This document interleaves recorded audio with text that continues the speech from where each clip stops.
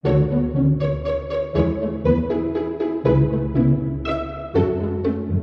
いどうも皆さん、エジブラザーズのカーネルです。その兄貴でございます。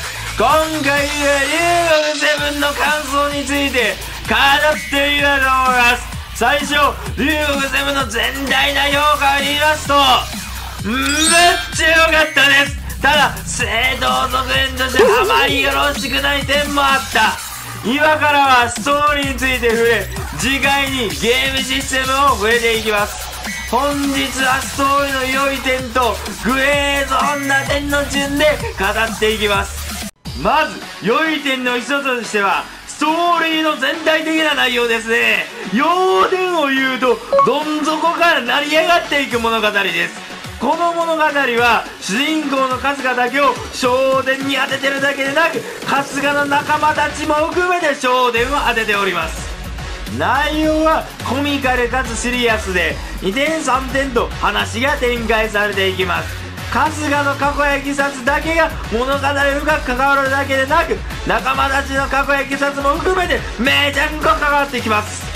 キャラクターは感情移入しやすいタイプが多く中にはうざいやつもいました。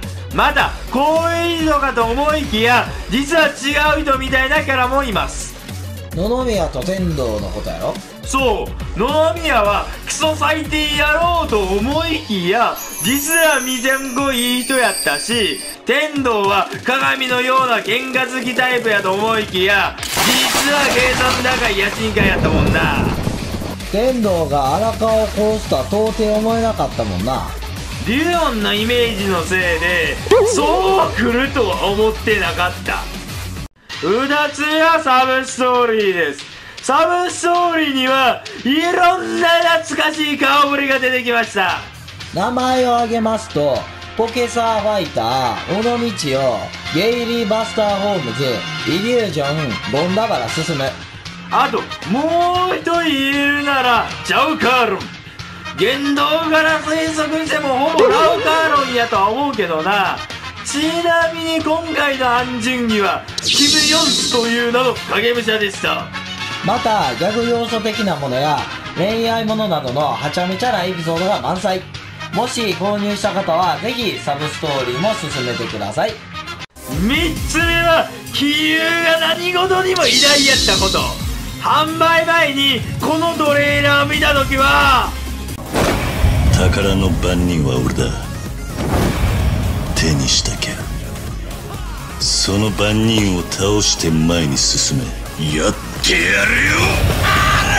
まさかだよなまさか春日がキリを任すなんてバカなことしないよなと思ってました。結果キリが勝ちました。まあ当然のことですよね。当たり前だ。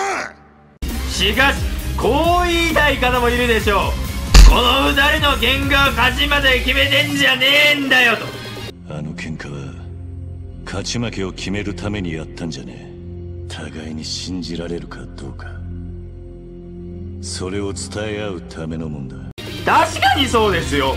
間違っていません。ただねもしここで桐生が春日に負けたらどう思いますか？勝ち負けの喧嘩じゃなくても納得いきませんよね。桐生は0から6までのシリーズの白輪をくぐり抜けた男ですよ。それほどの男がセブンだけの爆発男と対等もしくはそれ以上になるのは別問題ですよね。それなら4からの途中での冴島は桐生の力量はほぼ同格なのに問題にされてないやんけと思う方もいるかもしれません。じゃあ春日と冴島を比較してみましょう。まずは桐生戦春日は仲間と一緒に戦っていましたよね。一方冴島対マン戦でした。次に無所行きの理由。春日は荒川雅人の身代わり。一方冴島ヤクザ18人殺し。以上のことから春日と冴島は同格と思えるでしょうか。明らかに冴島が桐生とほぼ同格と言われた方が納得いきますよね。ごめん兄貴。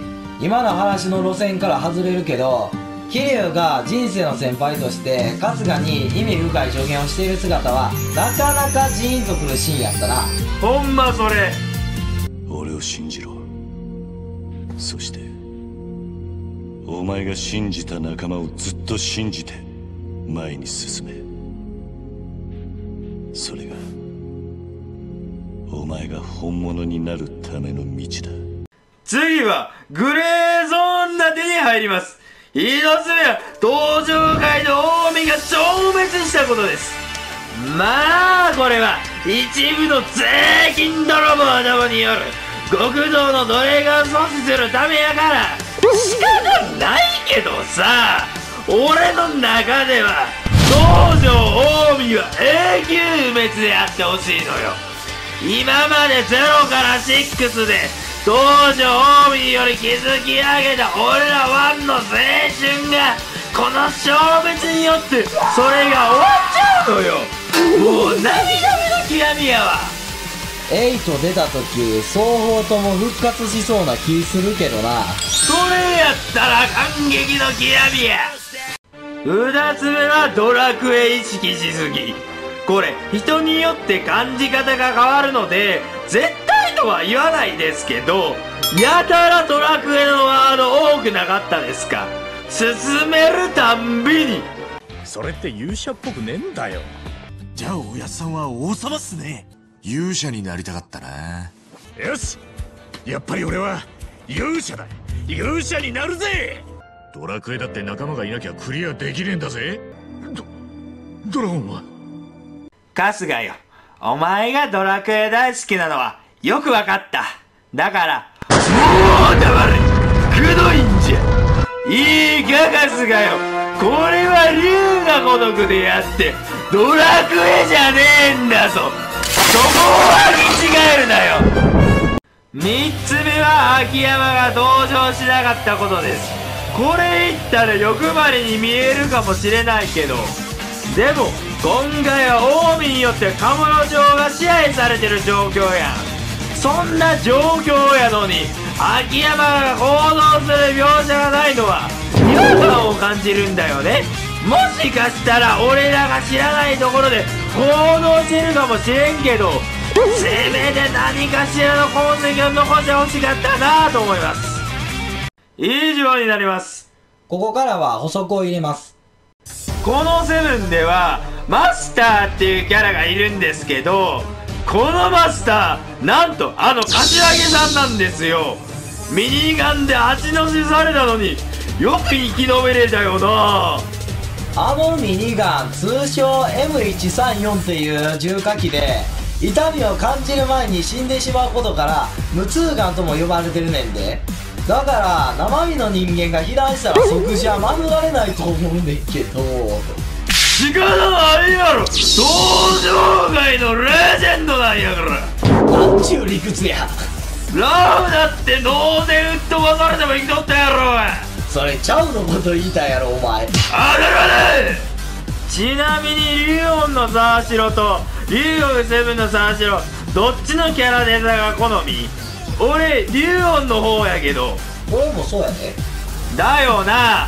皆さんはどちらの方が好みですか？補足は以上です。それではバイバイ